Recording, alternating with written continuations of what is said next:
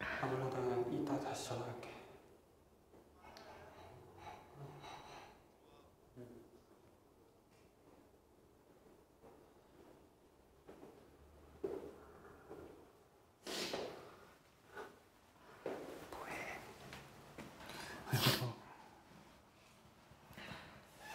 왜 울어?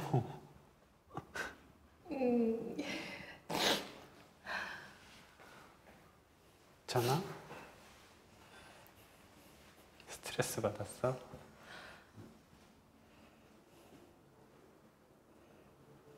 정신 차려. 정신 차려. 내가 더 무서운 얘기 해줄까?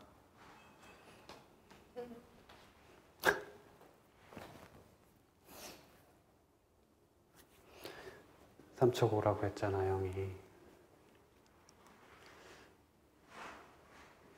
엄마가 너도 오는 걸로 알고 있대, 지금. 확정이래. 무섭지? 아, 왜, 울- 왜 울어? 왜 울어?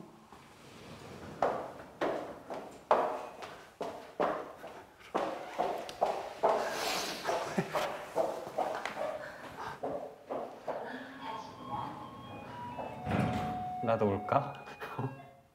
나도 울까?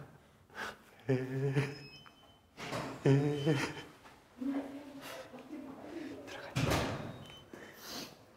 기다리시겠다. 들어가자. 다 울었어? 괜찮아?